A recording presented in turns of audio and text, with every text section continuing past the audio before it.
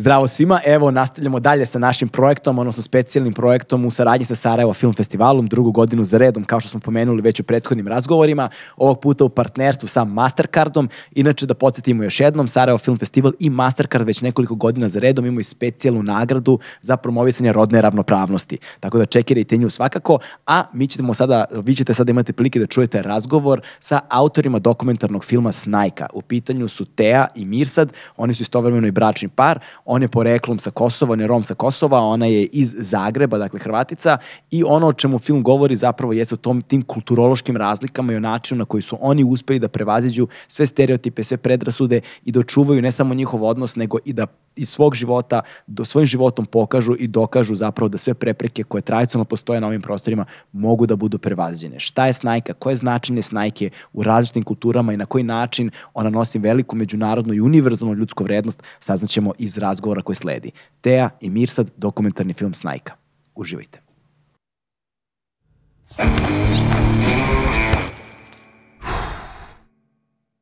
Hmm.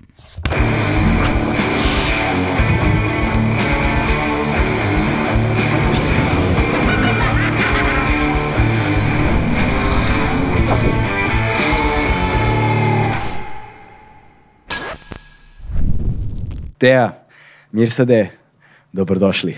Hvala vam. Hvala na pozivu. Kako ste? Pa super. ja isto, odlično. Vama je premijera bila juče, je li tako? Ovdje na Sarajevo Film Festivalu i kako je prošlo? međunarodna premijera. Pa bilo je super, bilo je baš lijepo, bilo je ono dosta popunjeno kino. imali smo nakon toga kao panel razgovor na temu i došli smo iz Prizrena gdje smo osvojili tu Audience Award, pa je isto bilo kao mm. ono, lijepo, lijepo sve skupo. A, vi ste pravo iz Prizrena došli ovdje, ne? Da, da, da, da, da. sa Dokufesta, da. Wow, sjajno, sjajno. E, kakve su reakcije publike? Mislim, ako imate razgovor nakon filma, uh, sad već imate sa dve publike ono iskustvo, pa kao, ka, ka, da li ste primetili neke ono, sličnosti kada su pitanja u pitanju i, ono, i teme koje ih zanimaju? Pa je, mislim, ono, u Prizrenu Prizren je bio da, možda malo više ljudi, pa on nekako onda su imali ne direktno pitanje, više je bio organizirano to što su oni dali priliku da mi pričamo malo više u filmu. Mm. I ovdje je bio malo ta drugačija gdje su direktno došli na pitanje kako ste radili film, zbog čega je napravljen i onda tu je bilo malo dublje ono komunikacije. Meni je u Prizrenu, zato što on je išao doma, ja sam ostala još dva dana u Prizrenu, mm. pa sam onda sretala ljude po cesti koji su mi prilazili i dijelili svoje priče, tako da meni je tamo bilo dublje. pa mislim u tom, u tom stilu da, tamo je zato što već smo bili više dana tamo i mogli smo ono, susretiti ljude u tim kafićima ili na ulicu i da su komentirali o tome. Ali ovdje recimo je bio lepo da je bio uključena i Frida u tom razgovoru gdje su pitali ono, Fridu šta ti misliš za film i jel to znači za tebe šta to znači i ono baš ono kao da da ovaj mami najbolji film što je napravio. da je bio mene lepše čuti. Ovaj, za ljude koji ne znaju, pošto publika koja nas sluša gleda verovatno ne znaju, nisu imali prilike da vide film još uvek. Dakle, u pitanju je dokumentarni film koji nosi naziv Snajka, Frida, koju pominjete vaša čerka, je tako? Koja sad ima pet godina. Ovaj, I ono što mi je najzanimljivije u vezi sa filmom, čini mi se da je film u velikoj mjeri zapravo pozivnica na razgovor.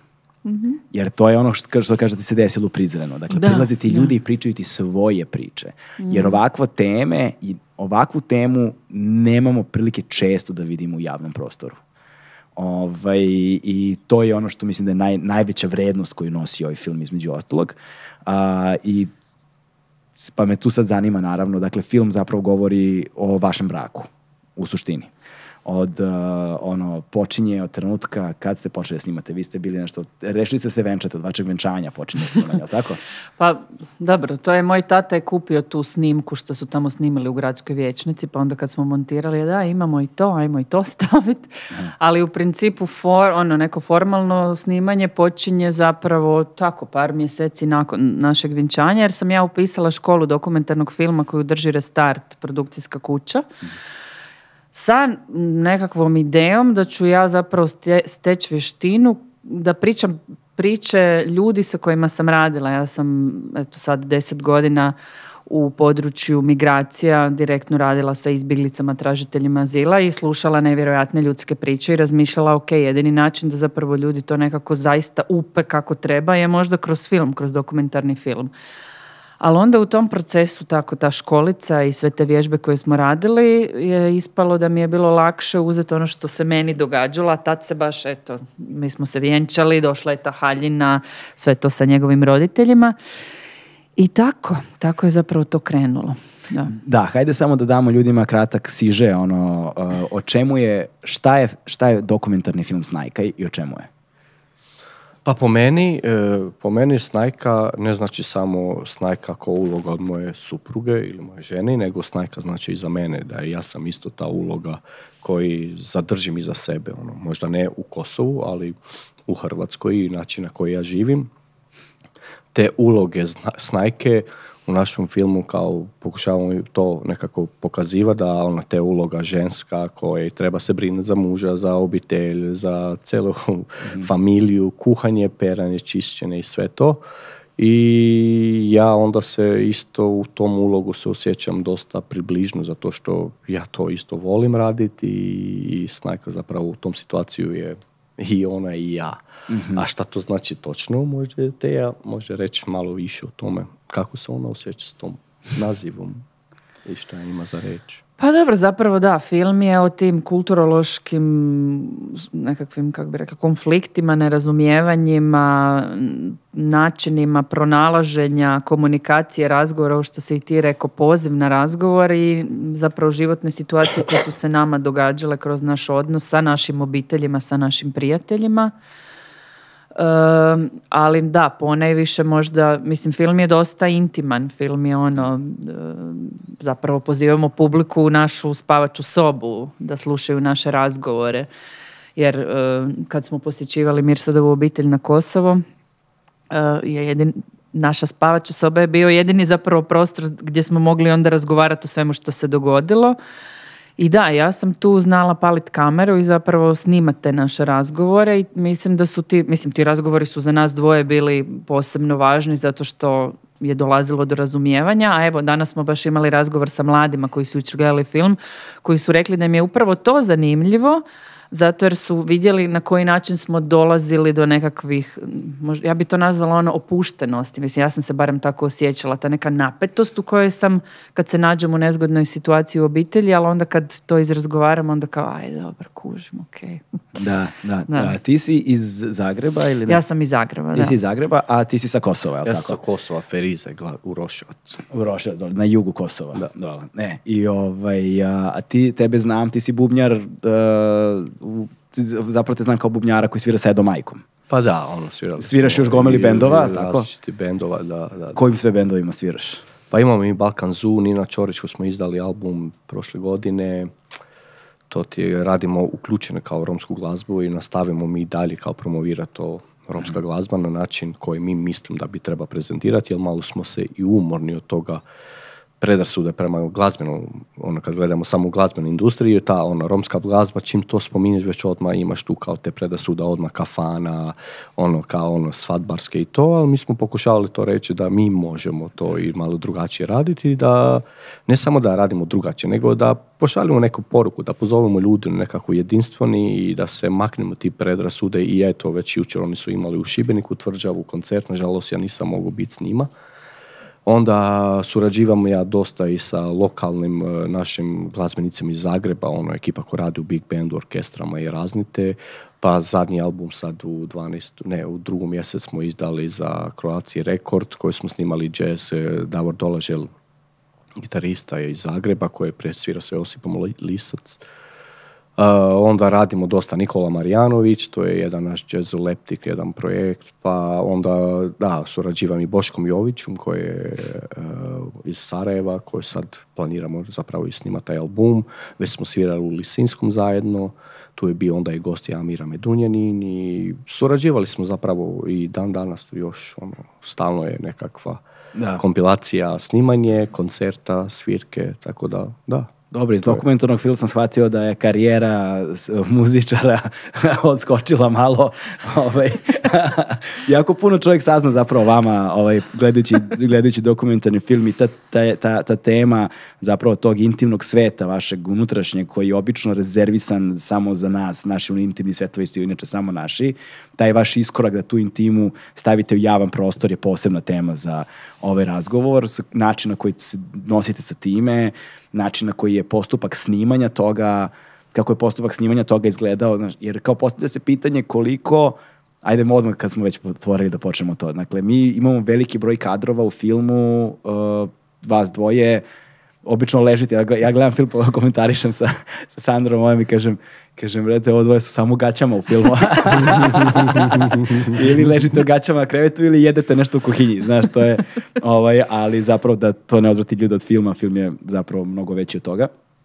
A, koliko je u trenutku kada ti uključiš kameru u tim nekim delikatnim trenucima to oduzimalo, oduzimalo od delikatnosti tog trenutka? Da li je to zahtevalo neku vrstu prilagođavanja ili i, ili i, razumeš šta hoću ti kažem? Da, da, da, kužim. Pa mislim, bilo je naravno, recimo, evo sad se odmah sjetimo one scene u kuhinji kad, razgova, kad, mi, kad pričamo o školovanju, obrazovanju, gdje je, ono, on je znao reći kao, joj, kao stalno taj film nam je nad glavi, kao, Da. ali ja sam nekako pratila tu intuiciju ono, koju sam osjećala kao sad, sad bismo možda mogli nešto dobiti. Mislim, u montaži, ono, svaka čast Maksi koja je sa mnom to sve dobro smo mi to provarile i, i složile i zaista je ono, Jelena Maksimović, montažerka, je ono puno, puno pomogla da ovaj film bude dobar film. Um, ali da, bilo je, bilo je momenata kad je, mislim, ono, Mirsad je znao reći kao ti si sa mnom samo zbog tog filma. A da, bio, bio, bio trenucima da stvarno ono, dođeš do toga da ono, daj više nećemo, jel? Ono, šta želiš u tome, šta želiš pokazivati, pa onda ide rasprava, pa onda iz početka sve, pa ovo, pa ovo, pa treća, pa peta. I onda na kraju skuže da zapravo onda moram pustiti to da ide, jel ima sve svoj smisla. Ali dobro, mislim, i pomoglo nam je i za naš, mislim, odnos, kad ti sebe gledaš, mislim, znaš kako je kad, kad rodiš dijete pa kad ti hormoni, mislim, ja sam gledala taj svoj period života, ono, post-porođajno, znam da je ono kao, bože, šta je, šta je meni bilo, što sam bila toliko luda. Ali neka samo refleksija, ono, meni je recimo i za taj odnos sa porodicom i za razumijevanje ono, dr- druge kulture mi je puno značilo da, da vidim sebe kako sam reagirala, da, da vidim sebe kako danas reagiram. I evo jučer kad smo gledali film s publikom opet ona moja rečenica prije deset godina kao they need to give me time, moraju mi dati vrijeme. To je stvarno nešto što je meni trebalo. Ja stvarno vidim da sam drugačija osoba i da sam se promijenila u tih deset godina. I sad mislim da je vrijedno, mislim meni je vrijedno da sam vidjela tu promjenu, a valjda je i publici vrijedno, valjda je i tvojoj mami vrijedno koja je gledala s nama film u Definitivno, da. Prizrenu. Tako da mislim da je to dosta značilo i za naš, ne samo za naš partnerski odnos, nego i za te obiteljske odnose i sa porodicom. I, mislim i moja mama koja je omekšala dosta i tvoja mama koja je omekšala dosta. A na kraju, mislim, ja se nadam, to je ono što me gonilo, da će Fridi to biti eh, najznačajnije, koja će sigurno jednog dana htjeti otkrivati svoj identitet dublje od onog što je sad. Ne? Da, da, da. Za, za, napomena samo za ljude, dakle, vi, za, vi zapravo pokrivate jedan dosta veliki vremenski period u svom Da. dokumentarnom filmu. Odnosno, mi tebe vidimo u fazi trudnoće, jel te, i to nekoliko meseci pošto ste se, pošto ste se uzeli, pa fazu trudnoće i sve do recimo Fridine druge, treće godine, čini mi se tako nešto. Do zadnje, zapravo do sad, do pete godine. Ali nije, naš, trudnoća je tek po- pet godina poslije svadbe. Ni- nismo mi tako, tako brzo, dosta ti je to. Aha, dobro, ne, pa mislim sad, je, da, sve da. ukupno, Da. da, tako Znači, da. period je zapravo mnogo veći. Koliko ste Da. ukupno snimali, kažeš? Pa sve skupa je deset godina. Sve skupa da. 10 godina. Ali naravno, nije se sad to baš snimalo svaki dan. To su Jasno. bili ono, mjese, ono, par mjeseci pa pauza, ali da. Je li počelo kao vežba za s- Za dokument? školicu, da, da. Eto, da. vidiš kako se stvari rode ono, iz, iz toga. Ali zato, zato mi je negde jasan tvoj komentar. Kao daj, ti si sa mnom samo zbog filma, kad, kad uzmemo u obzir da je 10 godina. godina, ono kao, šta želiš ti, hoćeš iz Evropske unije braka, fondova i to, gotovo. daj, ono. E, ovaj, a- ali ono što mi je također značajno jeste kao neko ko eto ima i, imam i sam ovaj, dosta e, vrlo sličnih iskustava ovaj, da ne kažem istovetnih, jel te, kao i vi. A stvar je, stvar je u tome što često vidimo ono što su trendovi prevashodno uh, govorimo na društvenim mrežama online i tako dalje, koji nam dolazi iz nekakvih ono drugačijih društava, zapadnih, ovakvih ili onakvih, kao što je bio, ne znam, Black Lives Matter ovo ili ono. Znači, onda ti vidiš način na koji oni poprimaju svoju trendovsku funkciju, ono, kroz društvene mreže, kako to zovu, ono, signaliziranje nekakve, da, da. ono, nekakvih vrlina, jel te, ovamo ili namo, a zapravo ne gledamo šta bi bio ekvivalent takvog nekog pokreta na našim prostorima. Naš. I, o, I vaš primjer je zapravo pokazna vežba koliko su takve teme, bez obzira koliko se mi pravimo da smo otvorena društvo, u stvari dalje duboko tabu. Duboko zatvorene i duboko nedeljive. I kako te barijere zapravo između tih kultura su i dalje neprozirne. Jer, jer kao gledajući vaš dokumentarni film, kao sa svojih 40 plus godina, neke stvari vidim prvi put Aha. Kao tu sam ceo život. Znaš, ali nikad nisam bio na, ne znam, romskoj svadbi. Znaš, prosto nisam. Kao čuješ priče o tome, ovo ili ono, ali kao nisi fizički bio Prisustio. prisutan. Nisam fizički bio pozvan. Nisam, a ne, ne mogu da kažem da sam ulo- investirao trud da budem. Da. Znaš, kao, koliko prijatelja možeš da navedeš, koliko a, situacija u kojima smo se mi otvarali ka dru- drugom i drugačijem. Da. Znaš, ili kako smo se otvarali da prihvatimo drugo i drugačije. Ne nužno mi da iskoračimo negde, nego i da napravimo iskorak da pustimo nekoga kod nas. Znaš, to je recimo u slučaju tvoje porodice. Znaš, Da, i onda da, kad vidiš obe strane, nekako u tom spoju zajedničkom izlazi na površinu sve ono što su akutne i hronične bolesti naših društava. I to mi se, to mi se jako dopada. Ali sad da ne ulazim ja, jel te, previše u analizu. Uh, prvo pitanje negde za tebe bi mi bilo logično, Znaš, otvara se film time što ti kažeš, ovaj da sad ne prepričavamo ljudima film naravno, ali kao ti kažeš kako, znaš, tvoja majka nije htjela da se pozdravi sa Mirsadom na svadbi, na venčanju. Znaš, ali, i- a- ali mi vidimo i vrlo jasan proces omekšavanja kroz vreme, Da, da, da. što je zapravo veličina ljudskog bića. Naš sposobnost da se promeni. Um, kako su oni reagovali zapravo kada su gledali film? Pa oni su gledali film ono doma u kući. Ja mislim da će im biti potpuno drugačije iskustvo kada će gledati s publikom. Aha, E, nisu gledali još Nisu ga gledali s publikom. Nisu, mislim, ono, svjetska premijera je bila u Prizrenu. To je isto bilo, bila rasprava kao hoćemo li Mirsadovima puštati doma ili da gledaju s publikom. Doma vjerojatno ne bi gledali sa tolikom pažnjom sa kolikom su gledali sa publikom. Tako da je, ono, voljela bi da, da to iskuse i da isto sjedim pored njih kao što sam sjedila pored Mirsadove mame kad je gledala. Um, Naravno, ne znam, eto, mo- mogu to ispričati kako je tata, kao kaže on, šta nisi stavila više ono kad radimo na stanu, kao to je baš bilo zanimljivo. Ali, e, da, oni su zadovoljni. Ja sam se najviše bojala mamine reakcije i znaš, ono kao strepila se strane šta će sad reći, hoće li reći da nešto kao nije dobro da mi se ne sviđa, ali zadovoljna. Kaže da je, kaže da je dobro, ali eto sad, e, ono ja naravno javljam sad kako, kako je bilo u Prizrenu, kako je tu, pa pričamo. Tako da, ono, mislim da nismo baš svi svjesni ni, kao taj odaziv publike i koliko ljudima to znači. Eto, veselim se zapravo da dođem doma da ono sjednem, popijem kavu sa roditeljima pa da pričamo i da vidim kako je njima to sve. Ali mislim da su svi skupa ponosni, da, da, im, je, da im je drago. A kakva je reakcija tvojih bila? Po mene ja isto sam imao taj trenutku kao da li će moja mama nešto sad ono brijati i što ja znam. Makar e, moj tata, za moj tatu ja sam siguran da je on je radio u kino dugo godina. Prije rata do, da, do 99. oni su imali svoj kafić unutra u kinu i bili su kino, kino operatori koji su pustili film i to. I onda donijeli smo u kinu koji je bio zapravo sličan tomu što već smo moj, mi imali dom, doma u Kino Feriza. Lombardi u Da. I onda vidio sam da on full bio sređen, ono, sav, ono, pricajzla, fino, odlično, dođe, gledaju film i vidiš na njemu da on je full sretan. Mama, par puta sam gledao iza kako je Teja bila s njom sjedala, ja sam bio naprijed. I onda gledam tu i tamo, vidim da nešto kao neke suze, nešto tu radi, to, koje mi je to drago, mislim, čuj, e, je, zvuči ovo sve teški odnos, ne, ne bi rekao odnos, ne sporazum među dva različite kulture, ali i dalje postoji onaj ljubav koji možda osjetimo svaki dan koji o tome ne pričamo. I vidiš onda moja mama ono, kako je bio film, kao sve je bio super, samo jedna scena meni se ne sviđa. On, koja? Kaže, ona scena kad si ti gol na kupaonu, piješ vina, kaže, kako to ono, to je much kao. A ja očekivam nešto drugo da će reći nego ona mene tu, kaže da ta scena di si ti gol piješ, ono kao to baš Previše scena u gačama. Da, da, da, da, da. Kažem ja, ima dosta scena u gaćama, tako da spremite se, dragi moji Ali gledalci. je, ono, baš, baš to bi bio ono lepo čudo. Gdje sam rekao, mamo, to je u redu, ono, ne vidi se ništa. Ali dobro i Pa- Maksa je tu pazila, kao ovo ćemo malo tu da pomaknemo. A da, to sigurno, da.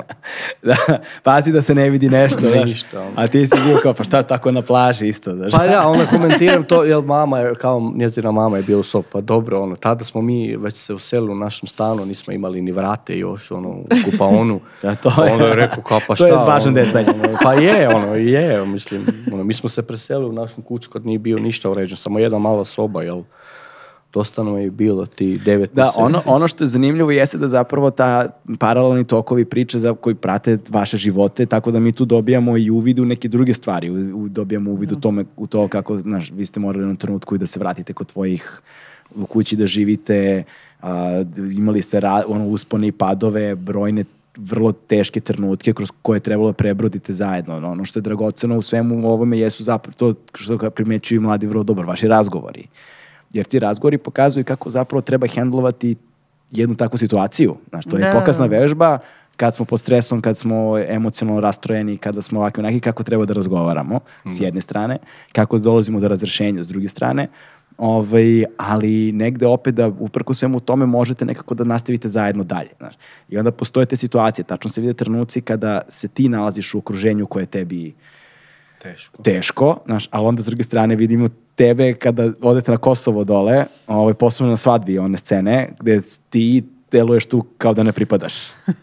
Znaš, i da se ne snalaziš zapravo. Da, I da. onda te frustracije isplivavaju na površinu i to zaista jesu trenuci kada čini mi se brojne veze ne bi opstale. Prosto brojne veze ne bi opstale. Onda me zanima šta je to, mislim naravno pored ljubavi, ono, kako tehnički prebrodi, kako se ono fizički prebrode te trenuci. Znaš, sigurno je bilo trenutaka velike sumnje, ne samo za vaš odnos, nego i za sam dokumentarni film. To da, Da. ne šta ovo radim, neću snimam više. Znači, trebalo ti da snimaš isto tako i tamo. Da. Pa je, mislim, ja mislim da je apsolutno normalno da svaki odnos ima uspone i padove Da. i pomišljaje da, da treba da se odnos prekine. Meni je možda najteža naša faza bila to kad je došao covid, pa je Mirsad ono zaista kao umjetnik, ono svi umjetnici su zapravo tad pali financijski i on je, ba- mislim, imao si baš ono krizu kao ne želim da moraš, kao on meni kaže, ne želim da ti sad moraš proživljavati ovu težinu sa mnom. I tu je onda bio taj moment kad smo se opet morali uzdizat, mislim, nije to, nije meni to, prolazimo zajedno, ne, zajedno ćemo mi opstati kroz to, ali um, da, mislim ti razgovori, ali možda ja mislim da je na- naše najveće bogatstvo što mi jedan drugom dajemo slobodu da budemo ono što želimo biti, a da smo i dalje zajedno, ne ograničavamo jedan drugog. Ja njega, pod, mislim, budi umjetnik, budi muzičar, iskušavaj svoje stvari koje ti želiš, evo sad on mene podržava, ja sam napustila svoj radni odnos u kojem sam bila deset godina, sad ja pokušavam nešto drugo, tako da mislim da su to ti neki daš, vratiti se i mislim da je to nekakav temelj našeg odnosa. Naravno, onda je tu Frida. Zato mi je važno reći, nije Frida došla odmah kad smo se oženili, nego postepeno gradili naš odnos, odlučili da ćemo imati dijete, došlo je to dijete, tako da sve nas to drži nekako ono zajedno i skupa. Um, I to, mislim, prijat... ne je kao to ljubav, ali je i prijateljstvo, znaš. Ja stvarno osjećam da si ti, ono, moj, moj drug, Pa prijatelj. naravno, pa ako ne osjećaš to, šta ćemo tu? Idemo odmah. E, ali primetio sam da ste vi zapravo u početku filma govorili dosta na engleskom jeziku. Da. Da, to je bio moj najveći problem. Ne najveći problem, nego ja nisam znao hrvatski. E pa to, Ja sam- zanima me zapravo, nisam puno saznao o tebi, znači kao kad si ti došao u Hrvatsku, kako si došao, znam, vidio sam kroz film da su tvojim roditeljima bile potrebne vize do koji su teško Pa i došli. mene isto, da. Da, mislim, objasni Da. nam malo samo to, pošto pretpostavljam da ljudi ne znaju. Pa je, uglavnom e, državljani s Kosova, svima treba viza za bilo gdje, ali još nisu oni priz- priznali puno države i, i doslovno ne možeš ti putovat. Mislim, ja sjećam moju prvu vizu kad sam dobio, imao sam 18 godina, bili smo sa bendom, išli svirati u Berlinu i to je bio najveći šok za celu Kosovo. Kako ovaj mlad dečko je mogu dobiti viza, a čekaju ljudi, ono, pričamo ljudi od 5 do 10 tisuća ljudi koji ide dnevno da bi apliciraju za te vize i nisu mogli dobiti. Sreće smo imali da smo bili pozvani preko organizacije, pa onda su tu nam pustili. I to je bio recimo taj prvi put. A uglavnom kad sam došao u Hrvatskoj, mi smo se kako upoznali u Ljubljani, tamo smo išli u tom eh, projektu gdje smo se ono, imali smo te predstave, Theatre the Oppressed je bio i tako smo bili u Ljubljani deset dana i kako smo se upoznali, onda ja sam imao volju da dođem u Zagreb, ali kako mi treba viza, onda naša prijateljica zapravo, koja je moja kuma, Helena, koja je u tom vrijeme radila u Kuterevu, selu, jel tako? Selu je u Kuterevu u Hrvatskoj gdje se paze za medvjede i na hrani i čuvaju i sve to. I onda mene su oni pozvali kao službeni da ja dođem tamo na tri tjedna i tako sam ja dobio vizu za prvi put. Mhm. I tako sam onda ja došao u Zagreb, pa malo onda te je došla kod nas u Kosovo. Čekaj, znači vi ste se upoznali u, u Sloveniji. U Sloveniji ste se upoznali. Dakle, ti si bio dakle, u okviru tog dramskog projekta uh, teatar... Uh, Teatru dio Potlačenih, da. da, da. A ti? Si... Pa isto, zapravo, zapravo smo bili sudionici, to je što deset dana je trajalo radionica. Kada je to bilo? 2012. 2012, da. 2012, aha. I ti zapravo nisi govorio hrvatski nisam, uopšte? Nisam, Znao sam ono, evo recimo, sjećam prvi put kad sam išao u dućan, sam rekao, dobar dan, može jedan hleb, ona žena mi gleda kao, ono, kao šta, kao, a, hleb, on kaže, misliš kruh? Da, da, da. da. Znao sam, jer ja, imam ja tetke koje u, u Novom Sadu, u Zrenjaninu, u Beograd. Bio sam ja u susret sa jezikom, ali nisam imao vokabular priča, znaš, možda to ono neka osnova, jesi dobro što ima, mm. dobro je i nastavi dalje.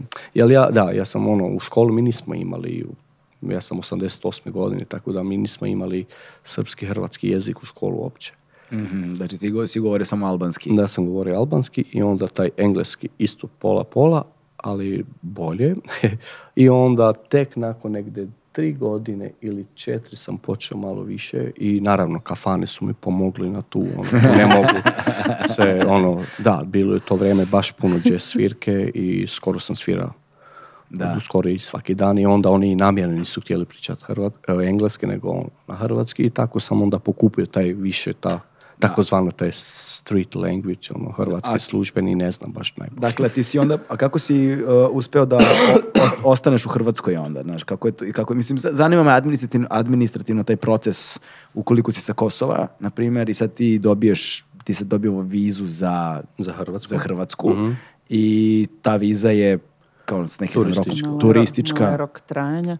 Pa mislim, oženili smo se. Onda smo se oženili. A, vi ti, ti čisto si došao u Hrvatsku, odmah se venčali. Rekao, ajmo Ma dobro, nije baš odmah. nije baš odmah, četiri, ali četiri relativno meseca. brzo, da. I onda brzo. kao A, znači venčali ste se, kao bili ste u vezi, ali i za papire malo. A? ok. A koja je procedura onda za dobijanje papira? Mislim, sad ja nisam siguran ovaj, koliko, koliko treba, dobiti hrvatski. Evo, već samo primjer da kažem. Znači, bez obzira da mi smo kao ajde uzeli i ok, ajdemo i želimo da možemo i biti tu zajedno i živjeti. Evo, već sad je prošlo deset godina, ja i dalje nemam hrvatske papire i dalje imam kosovske Dobro, malo je i to, zato što trebaš prolaziti kroz te administrativne procese. On ima privremeni boravak, onda ide prijava za stalni boravak mm i onda kad dobiješ stalni boravak možeš tražiti državljanstvo, ali ja sam umoran Ima puno iskustva da, sa tim administrativnim, institucionalnim rasizmom, pa onda nekad ja imam možda nema malo motivaciju ni ići napraviti ali dobro. Vjerujem da. će doći do toga. Da će. Jedan, a Frida s druge strane je potpuno rešena. Da. A da, da. Da, da, da, naravno. Rođena sada, u Zagrebu. da, sada, sada s druge strane ti si se bavila a, dugo problemima imigranata, odnosno izbeglica. Ovaj, kako ta situacija izgleda u Hrvatskoj?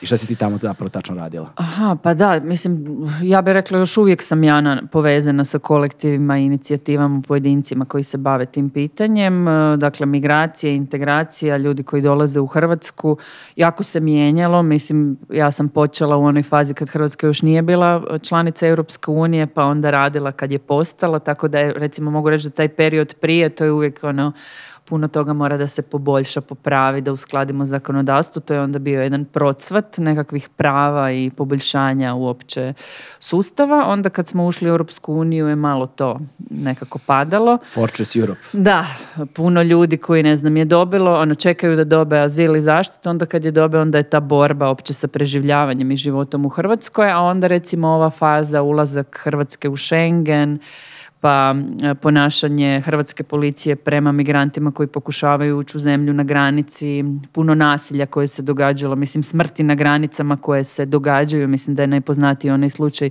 smrti djevojčice Madine iz Afganistana koja je, koja je stradala na e, tračnicama zato što su nju i njezinu obitelj hrvatski policajci poslali nazad za Srbiju i zapravo je donesena presuda Europskog suda za ljudska prava da je Hrvatska odgovorna za smrt te djevojčice. Mislim da je položaj da migranata u Hrvatskoj izazovan, da je ljudima dosta teško, mislim i dosta ljudi koji su dobili azil u Hrvatskoj Hrvatsku napuštaju upravo zbog te težine. A mislim, moram reći da i dan danas još na granici Hrvatske i Bosne ima puno ljudi koji pokušavaju ući, koje vjerojatno eto i u ovom trenutku se prema njima nasilno ponaša, tako da je da, situacija izazovna i teška i kao što kažeš, da, Fortress Europe, Hrvatska je ulaskom u Europsku uniju mi zapravo preuzimanjem te nekakve geopolitičke pozicije na granici zapravo preuzela i tu igru Europske unije. Da, Nije to samo u Hrvatskoj, toga ima i u drugim rubnim zemljama. Da, graničara, policajaca, ono, da, tako i sa Mađarskom, sa Hrvatskom i sa brojnim zemljama tog tipa. Ono što je meni posebno zanimljivo bilo, dakle subjektivno zanimljivo bilo, jeste posmatranje priče negdje iz tvog ugla. mm Ovaj, zato što sam sa tvojim uglom mogao lakše da se poistovetim. Sad je to potpuno subjektivno, potpuno subjektivno, ali ima jedan divan roman uh, pisca Hanifa Kurešija, uh ovaj, koji nosi naziv Buda from Suburbia, odnosno Buda iz predgrađa, uh ovaj, gde on imenuje jedan fenomen koji je meni vrlo zanimljiv bio, nazvao ga je casual rasizam, znači kao casual racism.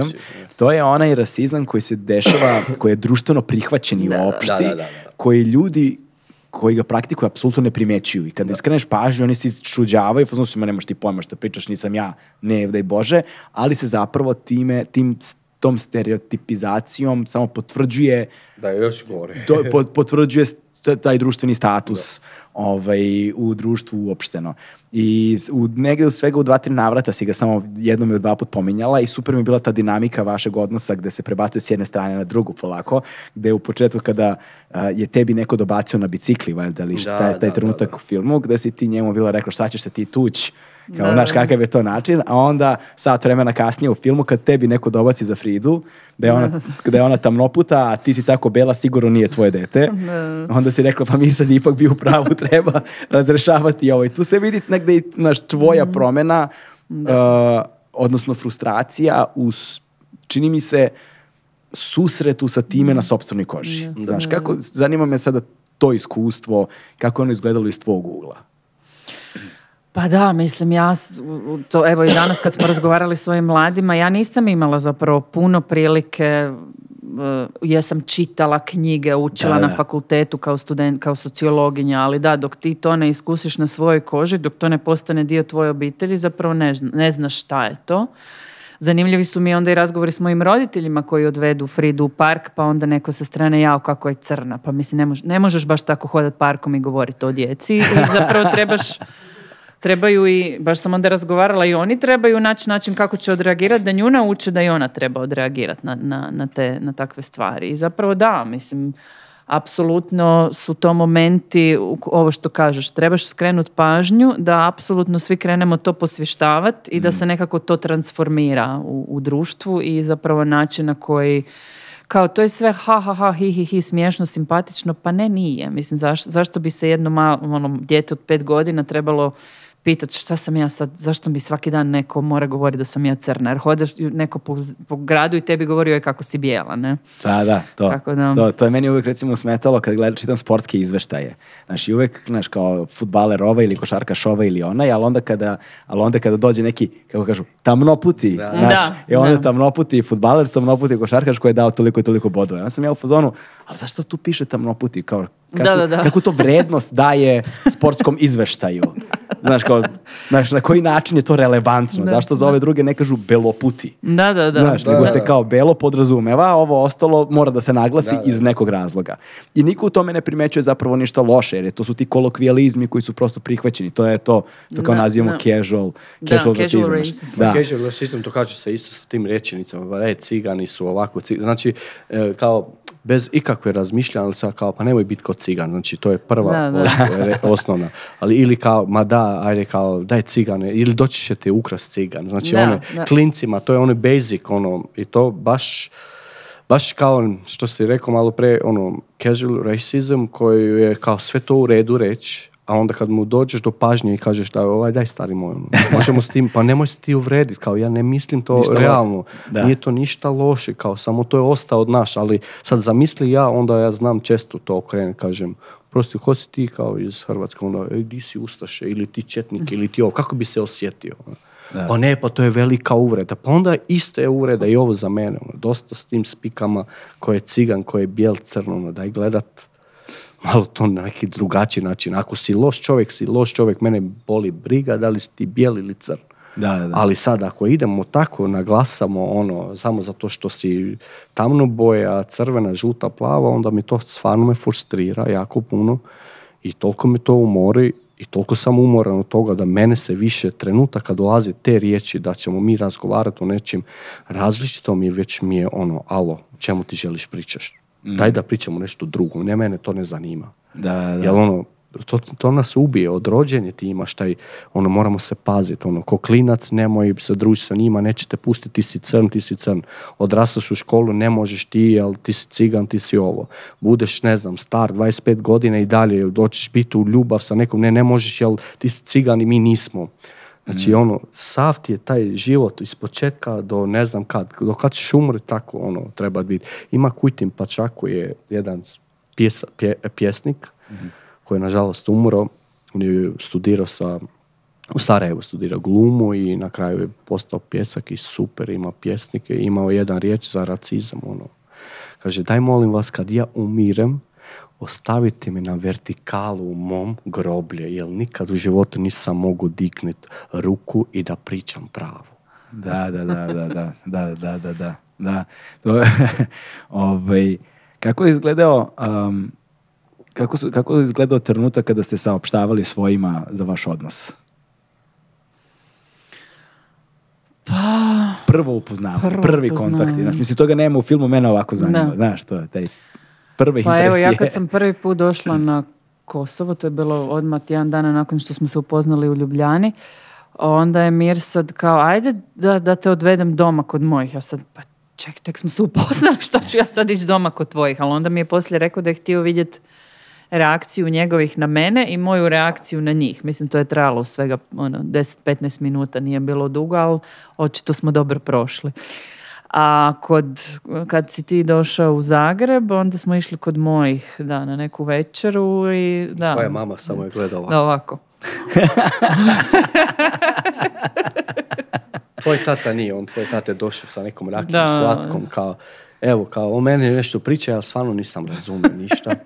Ja, ti nisi ni govorio ni jezik, Da, da. ono, ali kao, onda kasnije sad znam, kao, kao, on dao mi je to rakiju, kao, ako ti da tac, jel se kaže tac? Ako ti tast da, Da, slatku rakiju, znači, da, te da, prih- je okej. prihvati, ono. A, okej, okej, vidiš, nisam znao za tu foru, da, da. Jel si ti dobio to rakiju? ja jesam dobio rakiju, ali sam imao jedan super komentar uz nju, ali ne, tome ćemo drugi put. ovaj, na, a, takođe, ono što, je, e, ono što je još jedan zanimljiv faktor jeste, sad je meni se ovo super zabavno, zato što, znaš, kao sad ono, kao, vodimo praktično privatan razgovor pred kamerama. Da? Razmenjujemo iskustva, znaš. No. Ovaj, a, je u tome, postoji jedan efekat kada ste zajedno na ulici, znaš, među, među, među, među ljudima. Ovaj, I prevashodno, recimo, taj prvi krug ljudi koji su vaši prijatelji. Ok, postoji sad jedan krug ljudi koji su na najuža prijateljstva, to su negde ljudi s kojima delimo isti ono kulturološki DNK.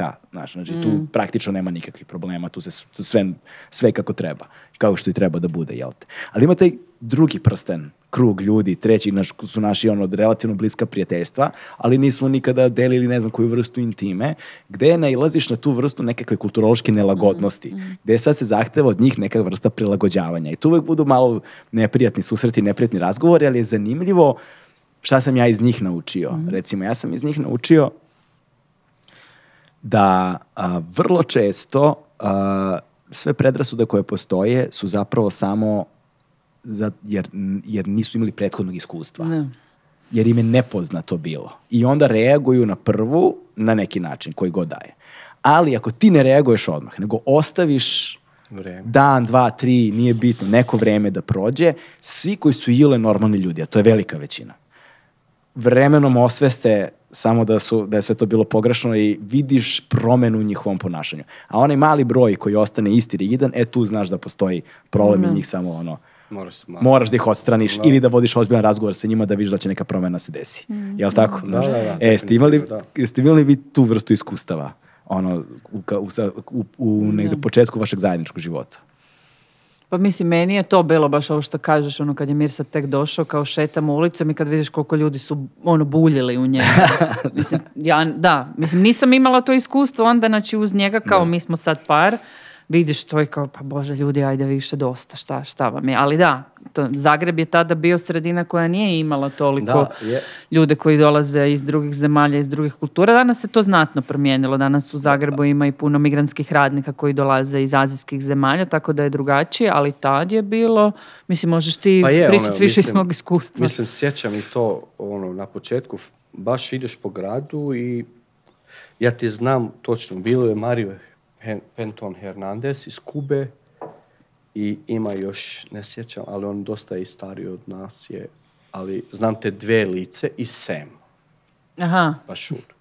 Znači, u celom Zagreb, u tom okruženju, sad sigurno ono Zagreb je im veliki, nije, ali imali smo mi nekakvu, imamo neku ulice gdje se stalno susretamo, ti kafiće, kulturni mjesta i to, i onda uvijek smo se ustreli s tim tri ljudima, od 500 druge, ne? Da, da, da. I onda sjećam da to je malo mene bi ono, na početku zašto stalno neko gleda, zašto, ali je onda uvijek je bio kao, joj, kao simpa im se, kao super si, tipa zato ono kao gledaju, pa super se obučeš, pa imaš kapu, pa imaš šešir, pa imaš ovo. Ali sjećam da puno vidljivo je bio taj racizam koji ono mogu si vidjeti, a danas definitivno nije u Zagreb to, zato što što već si rekla da ima puno više ljudi. Pre si bio malo friški, ono, nešto, ono, crn, kao, ok, a sad više ne, imam konkurentu, čovječ. To nije u redu. Sad više nisi tako poseban. Nisam više poseban. To. Ali definitivno, ako govorimo o diskriminaciji, nažalost, i ona ima svoju višeslojnost. Nije ista diskriminacija suda. Postoje kulturološki obrazci koji su nam ono kroz popularnu kulturu ovako i onako prihvatljiviji. Znaš, I postoje oni koji su nam isto tako kroz ono kulturnu kontaminaciju neprihvatljiviji. Romska zajednica je vrlo verovatno ako ne najdiskriminisanija, onda među najdiskriminisanijim od svih. Od A svih. žive ovdje u Balkanu već uh, Da. prema nekim mitova, ono, od 600 stoljeća. A to su neki mito, ali mo, ja mogu reći sigurno, evo, po- prema mojem obitelju, moj, moj pra, pra deda je rođen tamo. Znači, ako je moj pra, pra deda je rođen, pa onda njegov Pradeda. tata, pradeda, pa moj deda, pa moj tata, to su već negdje tri do četiri generacije rođeni ovdje. Mm, da. I, a nikakva društvena integracija se zapravo prava na neki način nije desila. I nije se desila ni dan danas, mislim, u tom, u tom nekom pogledu i čini mi se postoje kulturološke barijere neke, gde jednostavno ne ostavlja se otvoren prostor. I tu mislim da je zapravo vaš film strahovito značajan. Jer vi tek sad treba da krenete na turneju, da prikazujete taj film i da razgovarate. Znaš, tako da, kako, mislim, imali ste tek dve projekcije, ovdje Da. u Sarajevu i u Prizrenu. Koje su vam sledeće? E, Pa sljedeće je Makedox, dakle u Skopju idemo na Makedox festival i onda idemo u Hrvatsku, imamo premijeru u Opatiji na Liburnije film festivalu, a istog dana će film biti prikazan i u, na Rab film festivalu. Tako, Wow, eto, za, sad, za sad je to to. Da. Tako da čeka vas lagano, lagano turneja da razgovarate s ljudima. Ali ono što bih ja voleo, sad ovako, moje želje, znaš, sad nekako je to stvarno, opet negde stičem utisak da kada dođeš na filmski festival ti ipak imaš posla sa jednom već raslojenim Da. društvom u kome otprilike nemaš ono neku opštu populaciju da kažemo koja je tu došla. Ovaj, ali kada bi recimo ovakav film bio prikazivan, ne znam, završnim razredima srednjih škola, mislim da bi to bio jedan značajno drugačiji efekat. Sad ne znam da li postoje nekakvi planovi, razgovori, kako bi mogao taj film da dođe do jednog šireg Da. auditorijuma, do većeg broja ljudi. Da li će, ne znam, imati bioskopsku distribuciju, da li će, ne znam, biti dati ili do pregovaran sa nekakvim televizijama za televizijsko emitovanje, da li će, razumete što ću joj kažem? Znači, Da, nešto da, prosto, jer ovakvi slučajevi su u, kulturnom stvaralaštvu, umetničkom stvaralaštvu vrlo redki. Da, da, da. Znači, u, u moderno vreme šta meni pada na pamet? Eventualno ima Kristijan Novak, ima roman Ciganin najljepši, koji je sjajan, dogori, koji se dešava u Međimurju, koji isto ima jedan odnos, jedan od narativa je upravo odnos kakav vas dvoje imate, ali ne znam da li ima još nešto puno Nešto toga. toga, da, Mislim, da, ima još jedan roman koji znam, ali je stariji nešto, tako da nema puno takvog sadržaja. Da. Pa mislim, plan je da ide film u kino distribuciju i ono, sa producentom i sa, ono, sa restartom razgovaramo i da možda upravo ovo što si rekao, da se ono i neki edukacijski aspekt uzme u obzir i da se sa mladima razgovara. Evo, mi smo jutros razgovarali sa mladima iz Zapadnog Balkana i stvarno je bilo divno jer su i oni podijelili ono neke svoje priče. Čak evo, jedan momak je rekao da bar dođe ovaj film u moje selo pa da ga gleda moja baba, tetka i da onda malo Da, razgovaramo jako s lijepo, najkama. da, da. Tako da da, nadam se da, da hoće. Eto, mislim, publika stvarno ono, reagira, reagira sjajno. Ali ja bi možda samo još rekla da ono što je meni zanimljivo sad kad pričamo o položaju Roma, da je zapravo kontekst dosta različit e, u Hrvatskoj nego na Kosovu. Mislim, zato što se na Kosovu romske zajednice dijeli na ono, raje community Roma, Da. Aškali, Egy- Egyptian. Egyptians. Ne znam, morat ćete mi objasniti Eto, to, sve. može Da. Mirsa da objasni, ali malo je drugačiji kontekst, onda i možda to nekakav kao i suživot i, i jer evo baš je danas ova djevojka sa, iz Crne Gore rekla da ona je imala iskustva da je ne znam u školi išla sa, e, sa djecom koji su koji dolaze iz romskih zajednica. U Hrvatskoj pak ono, mnogi Romi su mijenjali prezimena da bi mogli bolje proći u društvu, da bi dobili posao, da bi ne znam dobili kredit. Ima puno ljudi koji skrivaju taj identitet da bi bolje prošli, a ja mislim da ga baš treba slaviti, da, da se treba ponositi sa svojim romskim identitetom, ali da, diskriminacija i rasizam su ti koji ljude zapravo dovode u taj položaj da to ne rade, da bi preživjeli. Pa sjećaš ono kad sam ti prije rekao ono u Zagreb negdje mi sviramo, neki koncert smo imali i dođe neki lik kao ej ja sam taj, taj, taj, ne sjećam sad više ime, ali ono bijeli dečko gledaš ga ono bez ikakve ono ne gledam ja sad da li ko je on šta je i onda kao hej moram ti reći nešto ja sam isto cigan ali nemoj nikom reći molim te kao onda mene tu već je bio ono kao ok, nećeš to reći, sve u redu. Ali ima takvi jako puno slučaja. Misliš koji je iz nekog mešovitog braka ili... Ne, čak ne, ne, ne. ne. Cigan koji je rođen bio dečko, baš čak živi negdje blizu e, trga Bajane Jeličića. Oženjen je, e, žena mu je Hrvatica, djeca su tamo, doslovno radi kao neki profesor negdje u školi. Dobro, to nema ga sad otkriti. A onda, Polako je, onda, onda jednog dana sam vidio televizor, ne se. Ali doslovno da, ima takve stvari i onda poslije ja sam radio u jedno vrijeme isto u jednom udrugu u Zagrebu koji je sve bio super do, dok nisam saznao neke stvari, onda mi je žao da sam radio, ali ne žao da sam radio sa klincem, to mi nije žao, apsolutno, to bi volio raditi, ali žao mi je sa nekom osobom tamo koji je bio jako veliki prevarant i to mi se ne sviđa. I uglavnom, u Hrvatskoj da, ima taj podjelnost gdje ljudi ne želi pokriti svoj identitet ono, ili moraju menjati prezime, kako si rekla i to, ali u Kosovu kod nas to nije. Mhm. E sad, reci mi kakva je situacija na Kosovu? Pa ja mogu pričati od zadnje deset godina do sam živio. Sada vidim razlika, ono ima puno promjena, ali do prije deset godina tamo imaš te Aškalije, Egipćani i Rome. Kao to podijeljeno kao tri manjine. Ove Aškalije, Egipćani kao su malo više koji su asimilirani, koji su izgubili kao ne znaju romski jezik pričat, imaju muslimansku vjeru i doslovno kao imao taj albanski jezik je kao materni jezik. Onda po defaultu Roma, onda oni pričaju romski jezik i imate katolika ili pravoslava Roma, a kod ove Egipćani Aškali ima samo muslimane. I onda su kao asimilirani, ne znaju romski jezik, znaju stare osobe znaju srpski i hrvatski jezik i albanski, radili su uvek u tim stručno spremno, što ono što ja znam, ono, tehničare za, ne znam, ono, razne firme i to. I jedan prednost kao oni to su vidjeli da kao ono uvek su se ženili samo međusobno ove aškalije egipćane, ali sa Romima kao ne bi htjeli. Ili nešto miješani brakovi po selama gdje su sa Albancima, ali sa drugim ljudima ne. Da, I to je da. ta, ta razlika i definitivno kad gledam malo okruženo kolektivni dio, tamo funkcionira puno bolje nego ove što sam do sad ja vidio u Hrvatskoj, pa čak možda i ovdje, makar tu ne znam puno, ali imam prijatelj ko su odavde, ko znam da oni kaže, pa ja nemam niti jedan prijatelj koji je Roma ili Aškali ili bilo šta. Tamo kod nas ima ta zajednica gdje smo mi, recimo ja u osnovnoj školi, mi nismo bili odvojeni, r- ono, Romi na jednu ili oveškali, nego mi smo imali svi zajedno, s Albanci smo bili u razredu.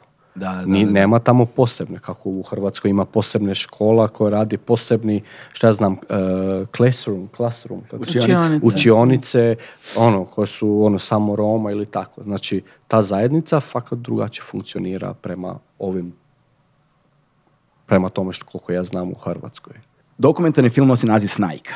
Tako da on zapravo e, prevashodno nosi značenje i sve ono što to značenje vrednostno vuče sa sobom iz obe kulture.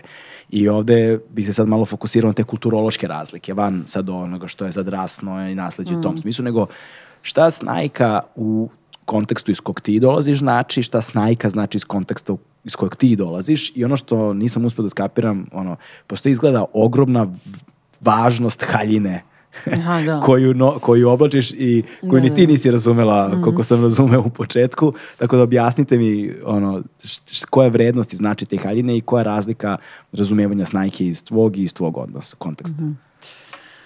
Pa dobro, ja recimo sam to učila kad smo se upoznali malo, malo više o toj snajki. Ja sam znala u Hrvatskoj kao snaha i kao iz tih starih vremena šta se očekivalo da je snaha.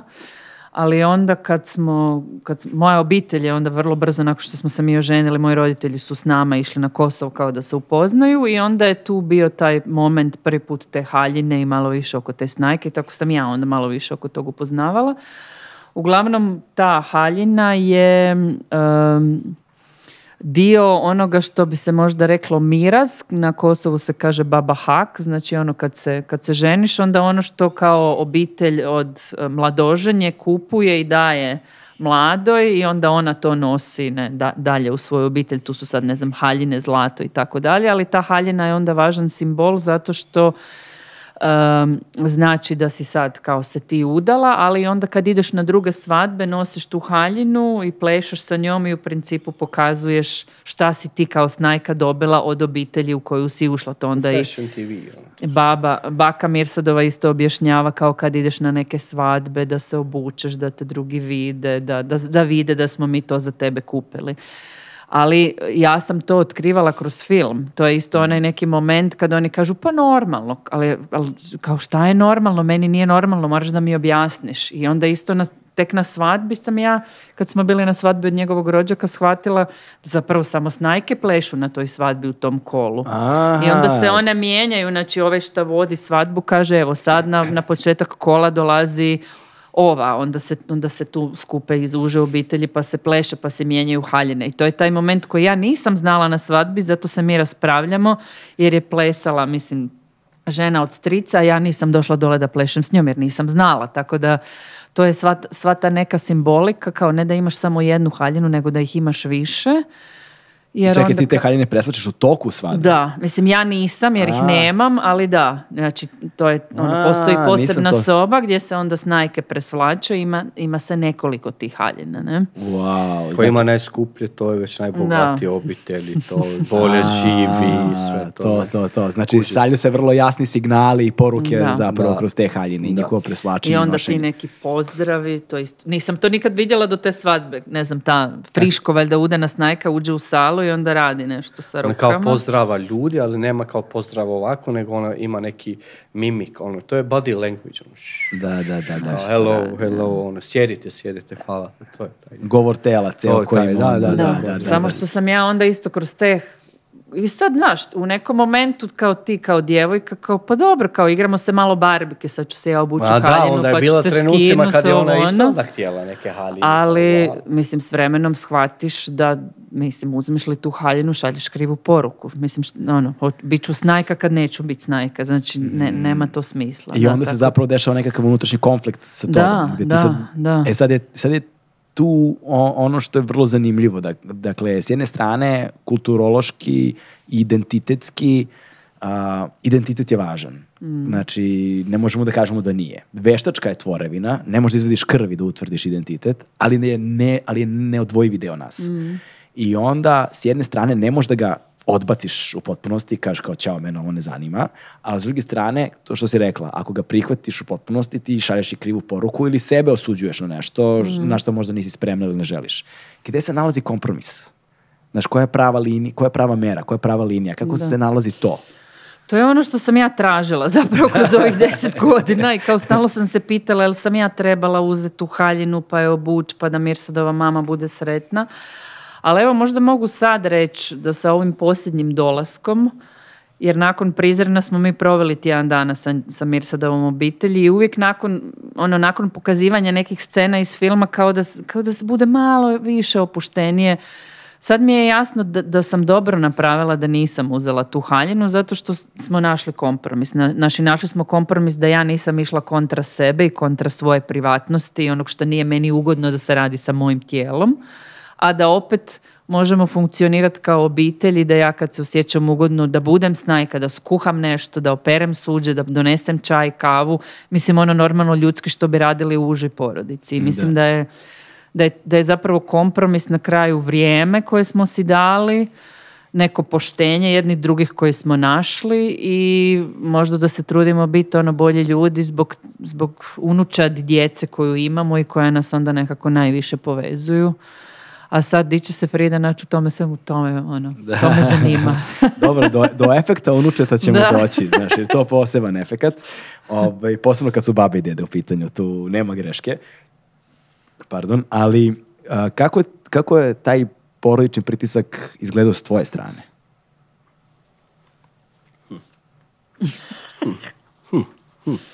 Pa znaš šta, evo, moram biti baš ono iskren da moje su se sa mnom nekako navikli iz početka da ja stalno sam odbio te, one, te kulturne, tradicionalne, šta ja znam. Ono, sjećam dok sam bio još mlađi kad bi oni pričali ili bi gledali nekakvu CD-ovi ili trake koje neko su ženi onda ovi moji kao uvijek skomentiraju kako je dobra ova haljina, kako ovo, ja sam uvijek bio protiv toga, kako je to glupo, koliko pare vi trebate potrošiti, ili ste vi normalni bla bla bla.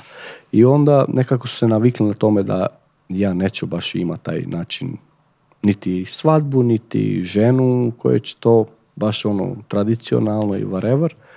Ali da, onda je počeo pritisak kad je kad je prvi put došla, kao, a, pa onda moramo kupiti jednu haljinu. I oni stalno žive na tom haljinu. Znači, njihov život je haljina.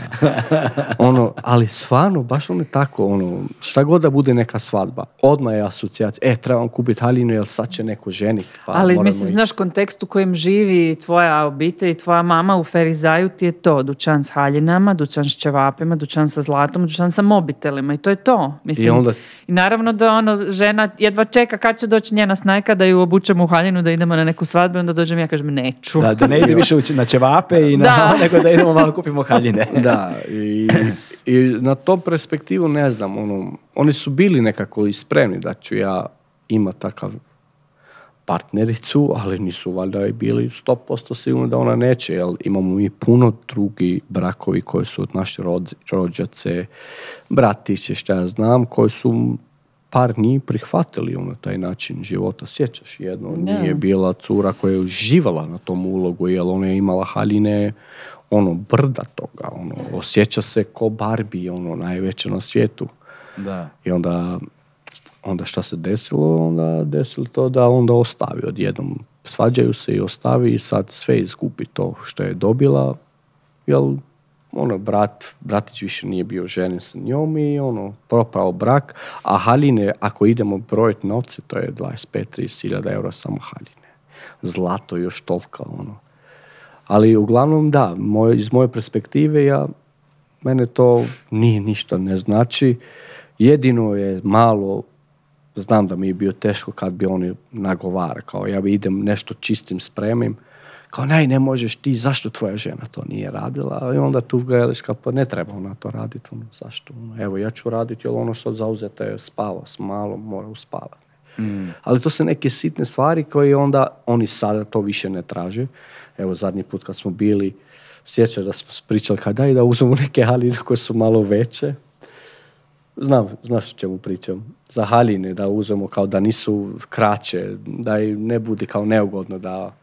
I onda mi dođemo doma i onda dođe moj brat i svojom ženom i njegova žena stalno je gola, ne? I onda ona kaže, pa kaj? gola. Pa mislim gola. Stalno je ono tim majicama, sve se vidi vani i onda baš ono reklo, kaj si ti meni to rekla da obučem toliko haljine, vidi nju.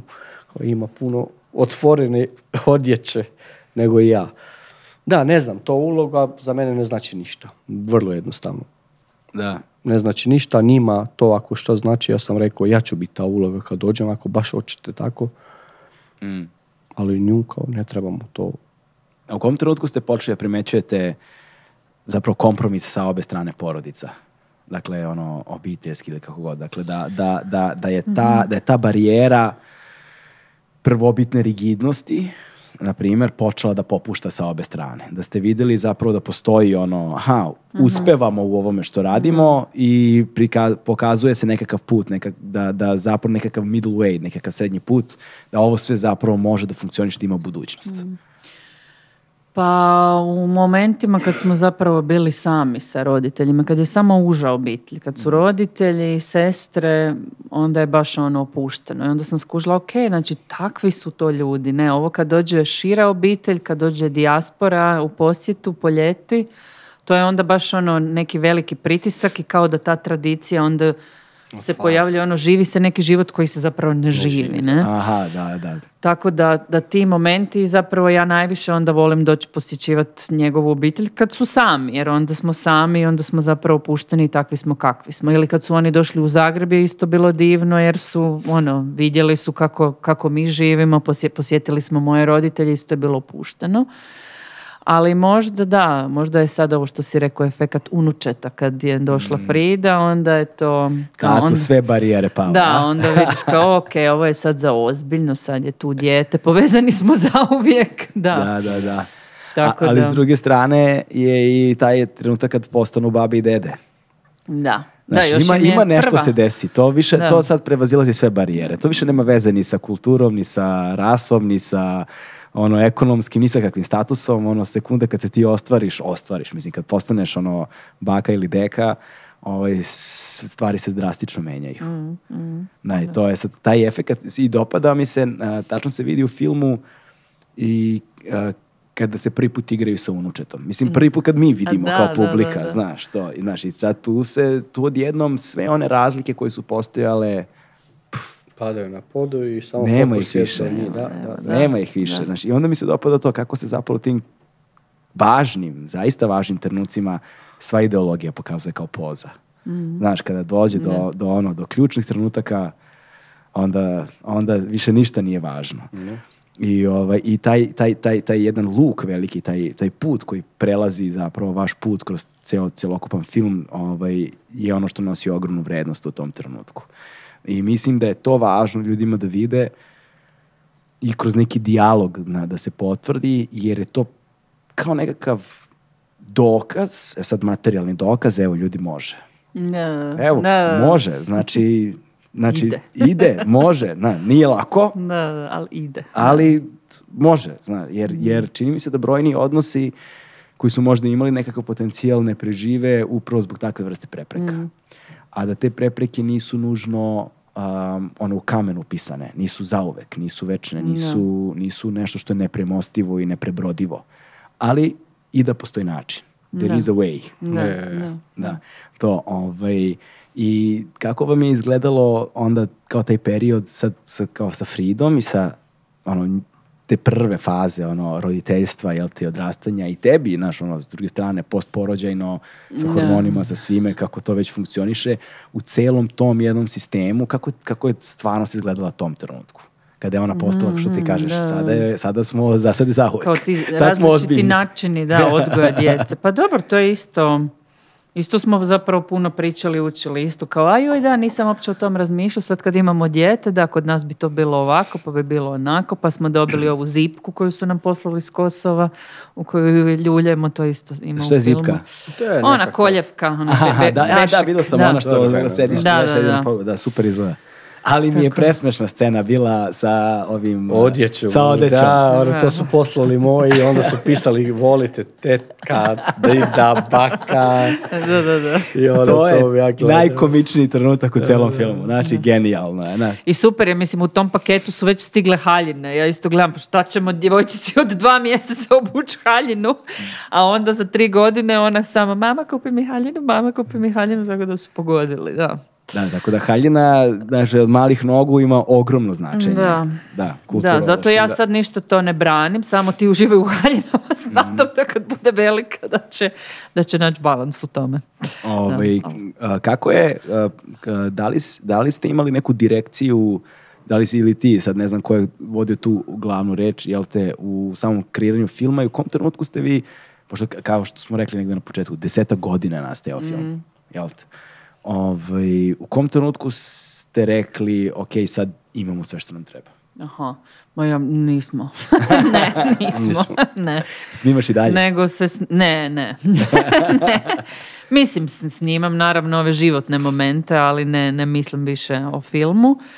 E, ne, nego jednostavno u nekom trenu je trebalo stat, e, što je isto, mislim, ovisilo i o, o produk- ono, produkcijskom smislu kao ko će podržati film, gdje smo prošli, šta, ono, kako ide sa produkcijom, sa koprodukcijom.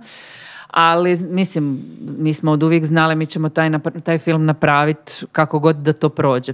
Bit će kakav će bit. E, I zapravo moment kad smo odlučili, ok, idemo sad u montažu, da gledamo sve materijale i da onda zapravo iz tog što imamo da radimo film. E, naravno da bi sad moglo tu još, da smo snimali, bi možda bilo još nekih momenata. I danas su nam pitali da li su neki momenti propušteni, mislim jesu, da, ni- nisam ja baš mogla snimiti apsolutno sve, neki momenti koji su bili, koji bi bili vjerojatno sjajni za film, nisu snimljeni, ali mislim da smo svejedno uspjeli ono da složimo neku priču i eto, opet ću spomenuti Jelenu Maksimović, Maksu, koja je, ono, zajedno smo, to mi je isto fenomenalno što je ona inzistirala da ja sjedim s njom u montaži i da mi zajedno to, na tome radimo, jer sam ja puno naučila, a i kroz taj razgovor smo zapravo napravile dobar film. Da, to je ta beskrena zahvalnost montažerima koju Da. u javnom prostoru nikad ne dobijaju ono, a naš, odgovana su pite pravili. Da, da, doslovno. Kakve materijale su sve uspevali, s kakvih materijala su sve filmove uspeli I da to mi je super bilo kad smo sjeli, kad je Maksa meni rekla, a znaš da ti nećeš baš biti simpatična u ovom filmu? A ja joj kažem, pa ne radim film da budem simpatična, ali dobro, eto, pomogla je da, da možda budem A dobro, znaš, ali tvoja inicijativa čini mi se da je važna dosta. Pa da. Znaš, jer, jer bez tvoje inicijative i bez tvog konstantnog postavljanja pitanja i suprotstavljanja otpora, znači nekako u filmu se tvoj otpor najviše vidi. Znaš, ovaj, tvoja patnja je nekako tiša bila u svemu tome. Znaš, i ima tih trenutaka kad baš ono, ti njega konfrontiraš u tom nekom pogledu kao šta ćeš sad ti da ćutiš i da radiš sam svoje, da nas ne opterećuješ, znaš. Da. Ovaj, to je nešto sa čime se treba ono, u okviru balkanskih stereotipa suočavati također. Znaš, ali sad, da ne širimo priču ono previše.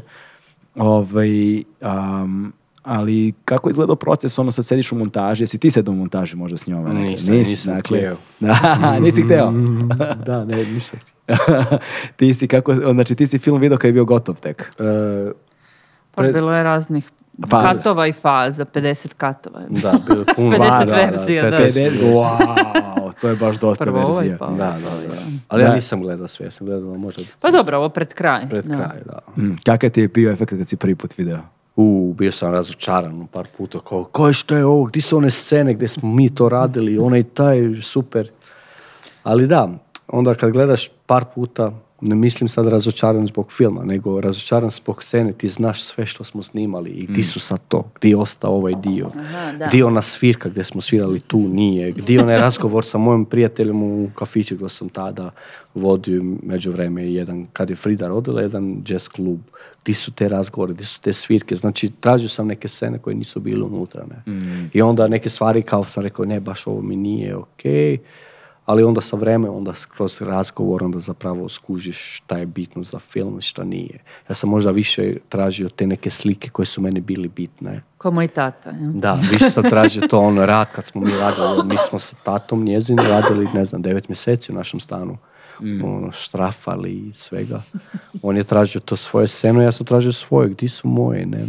Ali na kraju onda naravno da jesam, jesam definitivno sretan, jer uspjeli smo nešto, evo mislim, ako ništa, neko će slušati ovo što sad trenutno radi, makar ne pričamo ono od jučer prekjuča, ali trenutno neko će nas vidjeti, slušati i možda ćemo nekoga motivirati. To je, mislim, za mene puno značajno od bilo šta. Ne. Mm, da. A onda film je po sebi bitno mene za Fridu jednog dana da ona zna ko su, šta su, a neko ja stalno sam istražio sam sebe, ko si, šta si, da li pripadaš ovu manjine, ne pripadaš, da li si dobar, da li nisi dobar, ne. A ovako će nekako možda imati direktan kanal, kao da, moj tata je s Kosova, on je Rom, pomiješa nešto, a te Aškali Egipćani, ali zna, ali ja nisam znao ništa o tome, ono, živiš tu i stalno si ti Aškali i braniš to. Ne, mi smo iz Irana, mi smo bolji od tebe. Ti nisi dobar. Mi smo pravi, tu smo mi. Ali onda sa vremenom skuži da nema smisla to istražiti tako. Da. Biće lakše, taj neka komunikacija pretpostavljam. Mm, a s druge strane, a, prolazak kroz sve materijale u montaži, ajde što je mukotrpan posao, ja, ja stalno ponavljam, meni je najgori deo celokupnog procesa, ono, od ideje do ono, gotovog filma iz čega god, najgori deo u svim tim fazama, u svim fazama ima teških delova, ali najgori deo mi je prva ruka montaže. To mi je ništa nije gore od toga. ništa nije gore od prve ruke montaže. Ovaj, ali to suočavanje sad sa svim tim materijalom koji je sniman 10 godina, odjednom na jednom mestu, hronološki poređan i ti ga gledaš. Da. Znaš, kako taj trenutak izgleda, kad zapravo vidiš sebe ono i u trudničkoj fazi i pre deteta i kad je beba bila i ono, znaš, kad ti izađe memori na telefonu pa ti Pa ono nije sve jezno, znaš, a u ovoj I onda fazi... još sjediš sa osobom koju, si tek upo- koju sam tek upoznala, koja to gleda skupa s tobom, pa si, kak je tebi. Ali da, meni je bilo to, mislim, ta neka samosvijest, suočavanja sama sa sobom. Ja sam u cijelom ovom procesu shvatila i svoje stereotipe i predrasude i pogreške koje sam radila, ali da, dobar moment da ono, uzmeš nešto iz toga, da naučiš nešto iz toga, da meni je bilo super, znaš, gledamo ja i Maksa u montaži, sjedimo, onda ja idem doma s Mirsadom, onda uspavamo Fridu, onda sjedimo na kauču i opet pričamo, pričamo, pa ja joj oprosti što sam bila takva, pa sam bila onakva. Tako da je to dosta, ja mislim da nam je ono, dok sam ja bila u montaži s Maksom, da je i naš onda odnos, nekako dosta ono, otišao na bolje. Um, ali da, da, trebalo je tu ono i dosta strpljenja i ja znam da ja ono prvo sebe sam mogla, mogla sam ili da začepim uši pa da se gledam ili da se čujem a da zažmirim, da, Da, se da, nekako naviknem na to jer teško je gledat samog sebe na tom, na tom, na tom ekranu, ali da, montaža je isto jedna umjetnost da se stvori ono nešto da, da, da na kraju bude dobra priča. Tako A vidio sam također i evoluciju u slici, prosto dugo ste snimali. Da, ja sam u isto, početku da. imao utisak da li su ovo snimali mobilnim telefonom ili nekom kamerom, šta, šta li je ovo, ali kasnije kako vreme odmicalo, Mhm. posebno recimo od trenutka kada ste na svadbi dole na Kosovu i tako dalje. Sad tu već vidim da postoji neki snimatelj i da, se Da, tu, da. da. je tu stvar malo evoluirala. Ovaj, kako je taj proces izgledao i koga ste vodili sa sobom i kako su ono, tu kameru prihvatali recimo na Kosovu tvoji posebno tim svadbama, Mhm. kako ste im objašnjavali, koliko su oni, kako su oni navikavali na činjenicu vi snimate zapravo dokumentarni film i da li su to znali uopšte? Da, da, da, jesu. Da, da, jesu, da, da, da, ne bi, ne bi, mislim, ne bi to radili da nisu znali. jasno, da, da. Ali, mislim, kao što sam rekla, počeli smo snimati u trenutku kad sam ja upisala školicu dokumentarnog filma Restartovu, tako da su to materijali od tamo. To je neka ono basic kamera koju sam tada imala. Onda s vremenom sam kupila bolju kameru, pa sam čak do- dobila i neke ono lekcije i snimanja da to ono kako da držiš da je stabilno, da se okrećeš, kako da dobro složiš da izgleda kadar i tako dalje. Ali da, onda kada je ono kada smo i ono dobili neke ono financijsku podršku, onda kad smo mogli angažirati ovaj e, vanjske, mislim Dinka Radonić, snimateljica je najviše radila, ja sam zapravo, ono, baš sam htjela raditi sa, sa snimateljicom i sa montažerkom, sa ženama da, da gradimo ovaj film. E, I e, da, ona je zapravo, Dinka je snimala većinu scena u Hrvatskoj, svadbu na Kosovu, jedino da ni- nije, nije putovala ovaj, Dinka sa nama, nego su onda snimali zapravo ekipa sa Kosova. Ali mislim da su se tu dosta onako utopili u toj svadbi zato što je to taj jedan kao of- oficijalni moment gdje onda ono bilo je puno kamera i snimanja pa nije toliko nije toliko, ja mislim, bilo nešto čudno. Mi smo se dosta plašili onih momenata kad se Frida rodila, pa kad moja baka dođe u posjetu, ali to je isto taj jedan moment ono, rodilo se dijete pa su i potpuno zaboravili na kameru, dosta, dosta su dobro ulovljene. Ono, moja najdrža scena je kad bake pričaju o vizama i toliko su ono, zaboravile opće na kameru, ali i Dinka koja je tako sva opuštena i prirodna i zapravo je stvorila tu atmosferu da, da budu tak, da budu autentične bake nekakve jesu, tako da... Dobro, sjajno. Dakle, film Snajka, ovaj, imao je premijeru na Sarajevo Film Festivalu, pre toga svetsku premijeru prizirano Doku Festu, čeka vas Skopje, pa onda Pula i... Opatija. Opatija, pardon, Opatija, i, i, na, i na Rabu, tako, na filmskom festivalu tamo. I onda se nadamo da će biti da li neka streaming platforma, neka bioskopska distribucija, neki dobar televizijski deal, ono, bilo bi sjajno da što više ljudi vidio i film i da negde, znaš, eto, ljudi koji slušaju sada, mogu na nekom linku ili negde da prosto pogledaju i da odu u neki lokalni bioskop da vide. Mislim, Al Jazeera Balkans je isto u koprodukciji, tako e, da... onda to će pretpostavljam biti, Ste film i Mobius sa Kosova, tako da, eto, svi ono, radimo na tome da film živi svoj život. to. Zbog čega je Sarajevo Film Festival neprocenjiv za vas? Pa, e, zbog te prilike da zapravo film ode možda izvan ovih e, konteksta u kojima je sniman Kosovo, Hrvatska. Ja mislim da ovdje je ipak jedna kao međunarodna publika i da dolaze ljudi iz različitih zemalja, opet iz regiona i da smo u principu imali priliku gledati film, a onda i razgovarati o filmu. Mi smo bili dio Human Rights Day-a, tako da smo onda i razgovarali o ljudskim pravima, o diskriminaciji na panelu. Nizozemska ambasada je zapravo bila pokrovitelj tog razgovora i uopće našeg dolaska ovdje. Tu su bili ovaj, diplomati iz UN-a sa kojima smo razgovarali, tako da smo onda i nekako i, i, i kroz tu razinu E, pričali o temi kojim se film bavi, ali mislim da, nadam se da, da smo i film onda doveli i u malo kao međuna, međunarodnu razinu, međunarodnu publiku, ne samo da ostane ovdje na regionu i baš je danas ova jedna djevojka rekla kao šaljete to značenje snajke i dalje u svijet, jer snajka je zapravo neprevediva na engleski. Mi smo se dugo mučili s time kako prevesti snajku na engleski. Jednostavno nema termina možda da ga internacionaliziramo. Eto, možda, nadam se. Hvala vam puno. Hvala tebi. Hvala tebi na pozivu i na ugodnom razgovoru. Da, hvala puno. to je to, stigli smo do kraja. Hvala vam puno. Hvala, hvala. Hvala. Ćao.